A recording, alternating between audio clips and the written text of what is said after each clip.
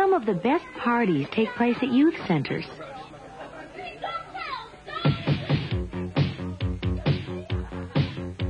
Did you see Mike and Chris tonight?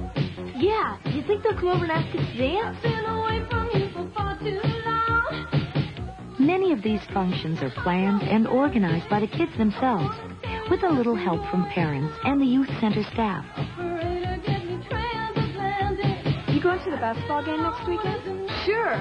Mike's on the team, but I don't even think he knows I'm alive. You too can join in on the planning and the doing. Lots of youth activities.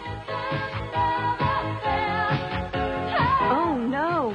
Mike and Chris are walking this way. Stay calm now. Would you like to dance? Sure.